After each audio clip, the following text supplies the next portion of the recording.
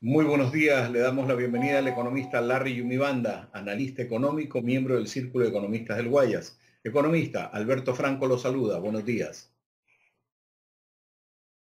Buenos días también a las personas que nos ven a través de la señal de la Universidad Católica TV.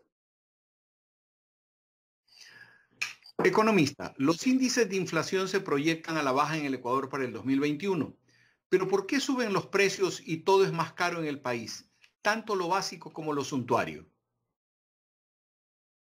La cuestión es que cuando se hace el cálculo del, del, IPC y también obviamente se saca la inflación, es un promedio, un promedio ponderado en función a más de 350 productos. Entonces, algunos suben, otros bajan. Por ejemplo, suben por lo general los alimentos básicos, el pollo, la carne, pero bajan, por ejemplo, todo lo que es muebles oficina, todo lo que es medicina. Entonces, de una u otra forma, al final del resultado, y eso es lo que ha anunciado también el gobierno para, para el próximo año, es que la inflación en el Ecuador, estamos hablando de la inflación del 2021, va a ser negativa, o sea, en el menos 1.20%, que prácticamente estaríamos hablando de deflación. Y si a eso le sumamos una desaceleración profunda, por no decir una crisis económica eh, en donde prácticamente caeremos en el 9% este año, ya estaríamos hablando prácticamente de un proceso deflacionario. Entonces, eso es lo que están viviendo los ecuatorianos y que lastimosamente se agrava por el asunto de la pandemia. Hagamos una, una ficción. Si tuviésemos moneda propia, llámese sucre o como sea, ¿los niveles de inflación y costo de la vida serían manejables? ¿Estarían al alza? O la esta deflación se acentuaría? A ver, si tuviéramos moneda, en este caso propia, para ponerle un ejemplo, lastimosamente por estas inestabilidades que se van gestando, no solamente en la economía ecuatoriana, sino a nivel internacional, ya hubiéramos tenido procesos devaluatorios. Ya hubiéramos tenido procesos devaluatorios y eso podría llevar a inflación. Entonces, al tener una moneda dura, de una u otra forma, por ejemplo, sostiene los shocks eh, y, nuestros precios por lo general no aumentan. Porque de otra forma este, hay una especie de confianza del ecuatoriano hacia la moneda, lo que hace es que pueda planificar a largo plazo. Entonces, esa es una de, las razones por las cuales eh, la inflación ha tendido a la baja, porque estamos prácticamente comparando con la inflación de los Estados Unidos. Entonces, eso es más o menos lo que, lo que yo le podría manifestar con respecto a su pregunta. ¿Existe una propuesta de desdolarizar amigablemente y emitir una moneda imaginaria para progresivamente sustituir al dólar? ¿Usted qué piensa?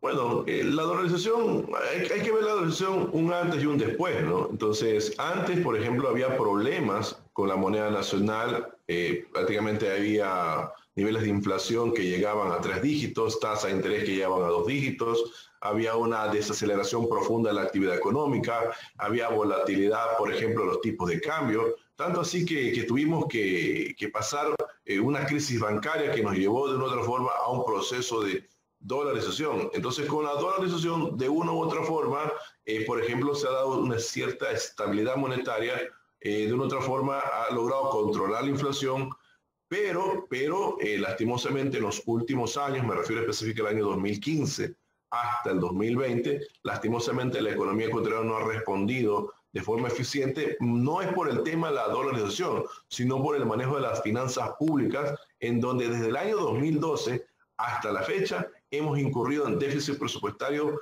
eh, de forma consecutiva, que ha hecho que, por ejemplo, caigamos en una trampa, en este caso de la 3D, eh, todo lo que tiene que ver con déficit presupuestario, incremento de la deuda pública y desaceleración profunda de la economía ecuatoriana. Por eso es que hay que tener mucho cuidado con el asunto de la desdolarización. Eh, obviamente si hay políticos irresponsables nos podría llevar a eso, pero no existe desdolarización a la buena. No existe. Porque en primer lugar, el 99% de los ecuatorianos está a favor de la dolarización, porque confía en su moneda y más que todo porque pueden planificar en el largo plazo. El cambio de concepto del manejo económico del país, esto es, eh, volviendo a lo que tenía planificado presuntamente el señor Correa, de manejar desde el Estado eh, la inversión y el proyecto de gasto público. Es un modelo que permitiría salir del problema en el que estamos en lo económico o lo acentuaría más?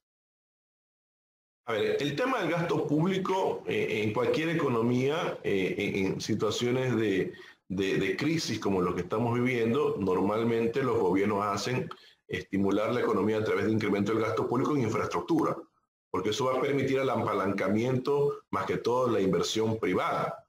Pero, pero en una situación de ineficiencia por parte del Estado, cuando digo ineficiencia, por un sinnúmero de casos de corrupción que se ha gestado en el gobierno anterior y en este gobierno, hace que de una otra forma el gasto público eh, se vea como inflado. Entonces, lo que nosotros aspiramos como Círculo de Economía de Guayaquil es que si bien es importante el rol del Estado en la economía, tiene que haber un Estado totalmente eficiente. Ahí es donde nosotros planteamos un Estado mejorado, un Estado eficiente, eh, más que todo a través de los famosos conceptos de gobierno abierto, que tiene que ver con el asunto de la transparencia. Pero por otro lado, creemos importantísimo que el rol del sector privado es fundamental para poder entrar en un camino a la recuperación.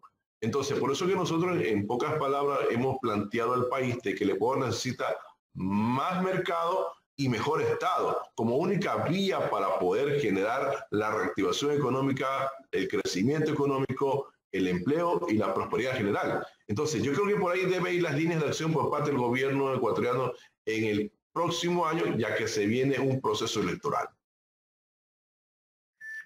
Muchas gracias, economista, por haber estado con nosotros en este momento y por esas palabras que nos acaba de decir. Son muy decidoras y deben de marcar el camino. Gracias que tenga un muy buen día. Gracias, un abrazo.